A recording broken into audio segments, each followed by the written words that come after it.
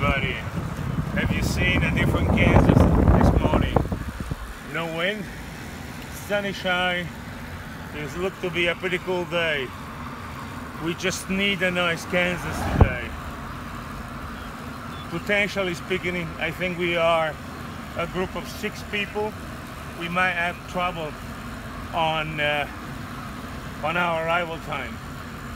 So this Kansas, it would be perfect after a very tough day yesterday in Colorado. All the day long strong headwind strong headwind uh, so let's hope for the better. Thank you